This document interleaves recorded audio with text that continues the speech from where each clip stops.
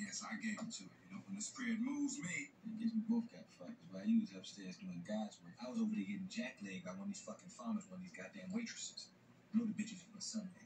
You know they beat me down to my goddamn socks. you lost all our money in the card game, Ray? Fuck the money. It's not even about the money. Fuck the money. I lost my daddy's watch. Then fuck that cheap ass watch, man. Oh, I apologize. It, it, it gotta stop soon. You're right, right? One more again. One more again. See what I take all your front set. I swear. See how you go back to New York. That's how you gonna be back in the car all the way back up. I'm sorry. Fuck that. Say something about the watch, Claude.